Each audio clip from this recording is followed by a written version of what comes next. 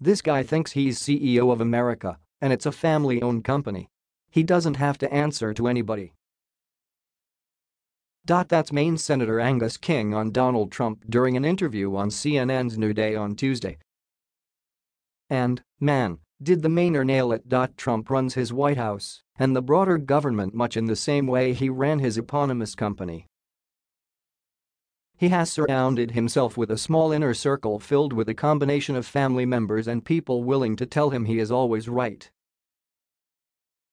He demands total loyalty from those who work for him and, as is the case with the traditionally independent Justice Department, fumes when they refuse to follow his orders to a T. He purposely and publicly contradicts people within his own administration as a way to assert his dominance and keep them on their toes. Put another way, all you need to know about how Donald Trump views the presidency you can learn by watching a single episode of The Apprentice.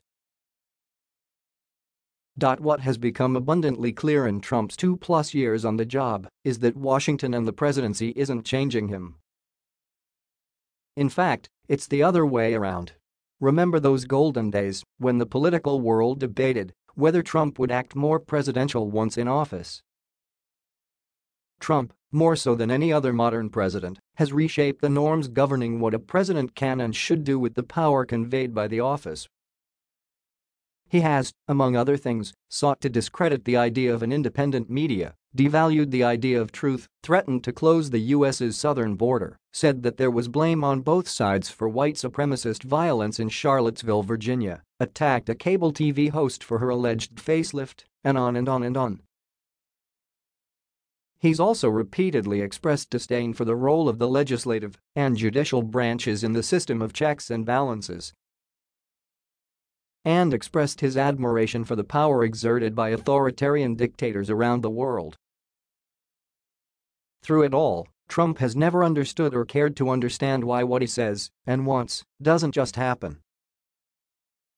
The point, whether Trump wins a second term in 2020 or not, his legacy will be the way in which he changed how people think about A. Who should be president and B. How a president should act in office. Trump acts as though he has unlimited power to do whatever he wants in office and attacks those who question that view.